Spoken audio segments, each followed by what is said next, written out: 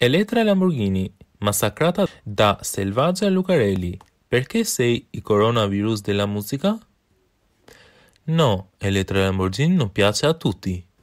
L'Erdia in gara al Festival di Sanremo 2020, condotto da Amadeus con costrutto a successo, continua a far discutere, non solo per il look o per il fatto che si sia prodotto in un twerking piuttosto scandaloso del palco d'Ariston, che infatti ci mette in dubbio anche le sue capacità artistiche. Per esempio, Selveggia Lucarelli, attentissima durante questo Sanremo 2020, la quale ha riservato ad Electra un Twitter corsivo in occasione delle performance alla serata dei duelli, dove si è esibita insieme a Mischetta.